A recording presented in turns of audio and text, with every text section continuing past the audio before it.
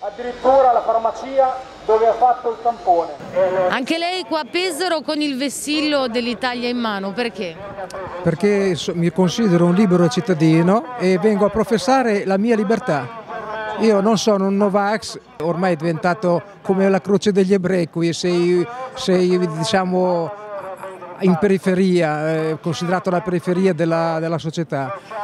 Però io non voglio farmi mettere nelle vene una cosa di cui non si sa nulla e poi andare a colpire le persone sul lavoro, ma cioè questo, questo è un atto delinquenziale. Dove sono le sigle sindacali? Come fanno ad andare contro il lavoratore? Come fa una persona che guadagna 1000 euro, 1100 euro al mese tirare avanti una famiglia, magari pagare un mutuo, mandare i figli a scuola e togliere 200 euro per farsi fare i tamponi? Cioè, ma è assurdo. Lei questa mattina doveva andare al lavoro? Certo, manifestare per questa cosa qua, non del Novax, non sono contro i vaccini, ognuno può fare quel che vuole. Sono contrario al divieto che ci impediscono di lavorare. E quindi che cosa ha fatto? Ah, niente, comunicare all'azienda due giorni prima che non avevo il Green Pass e si sospendono loro, sono loro che ci sospendono fino a nuovo ordine. Dopo vediamo come funziona. Oggi, Quindi niente stipendio e niente tamponi? No, perché se si fa il tampone dai ragione a loro, poi sinceramente 15 euro ogni due giorni. Il modo in cui è stato imposto, sotto forma di dittatura, non si, si, non si può neanche più andare a lavorare, non mi sembra una cosa giusta, a prescindere dal vaccino no. Comunque io ho il diritto di lavorare come gli altri, pago le tasse come gli altri e mi sembra giusto togliere il Green Pass. Sono contrario perché intanto il Green Pass secondo me non c'entra niente col vaccino, primo.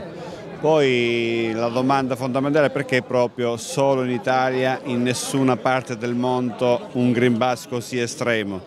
Adesso io posso capire per luoghi di assembramento, ma adesso noi abbiamo sempre lavorato in piena pandemia, sempre, senza neanche un giorno d'assenza Adesso che ormai dalla pandemia lo dicono loro che siamo usciti e quindi dobbiamo, ci costringono a vaccinarci in modo un po' spintaneo obbligatorio perché non è proprio obbligatorio, ce lo rendono obbligatorio con sistemi un po' fittizi. Posso chiedere che lavoro fa? Io faccio l'autista. Ed ora come fa? Non so, eseguirà i test oppure non andrà al lavoro? No, non sono andato a lavoro e non andrò a lavorare. Il certificato verde secondo lei è una forma di ricatto, che cosa ne pensa? Beh, è normale che è una forma di ricatto perché viola tutte le libertà dell'essere umano e della Costituzione italiana. Qui non si parla più di vaccino o non vaccino, qui stanno togliendo la libertà alle persone di vivere, di lavorare e di avere una vita normale come in tutte le altre nazioni del mondo perché solo da noi c'è il Green Pass. In Spagna è stato dichiarato per tre volte dalla Corte Costituzionale incostituzionale. Quindi solo da noi una cosa così succede. È ora che il popolo italiano si svegli e fortuna che abbiamo i portuali di Trieste e di Genova che stanno veramente dando una mano forte al popolo italiano. Lei sorregge uno striscione, perché qua? Perché è una cosa ingiusta e, e mm, non si può accettare. E io credo che sta demolendo le aziende italiane e per farle comprare ai cinesi probabilmente è veramente una vergogna è impossibile che il governo non capisce che cosa sta facendo. Lede la dignità secondo lei? Lede non solo la dignità ma anche la vita ci toglie il cibo per, per mangiare, se non lavori non mangi e quindi alla fine non lo so. Siamo in un momento peggiore della, della Repubblica Italiana perché questa mancanza di libertà in tutti i sensi è una vera discriminazione verso chi la pensa in modo diverso dalla, dal governo attuale. Posso chiederle di dov'è? Sono di Pesaro, certo. E lei oggi doveva recarsi al lavoro oppure no? Cioè, si, si sarebbe dovuto recare al lavoro, ma sono in disoccupazione adesso.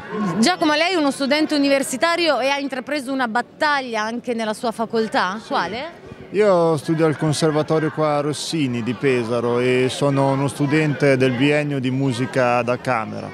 E mm, io parlo perché noi, da noi hanno esteso il campione al 100%, quindi all'entrata ti fanno il controllo e se non hai il Green Pass non puoi entrare.